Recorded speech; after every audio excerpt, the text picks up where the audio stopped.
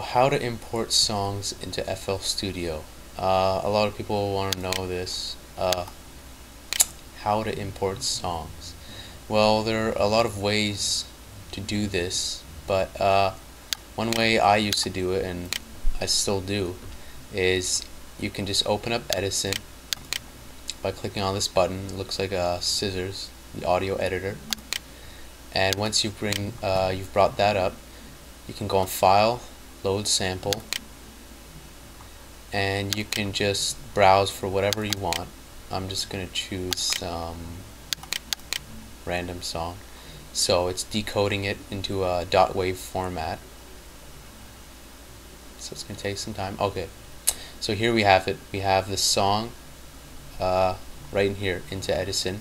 And how can we bring it into our playlist or our song, however we, uh, we wish? Well, you can either edit it or take pieces of it, or if you just want to take the entire thing, you can just go ahead and press Control A and then drag and drop. Alright, so we dragged and dropped our song, which is right here.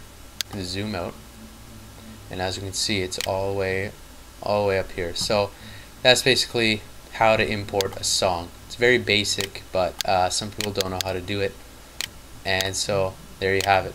And from here, you can you can still edit it. As you can see, you can still edit the song. You can still chop it up however you wish, and you can move around the song. But for people who want to remix songs, uh, basically this is something that they need to know. And it's very basic on how to import songs. So uh, thanks for watching my tutorial, and that's how you import songs into FL Studio. Thanks a lot.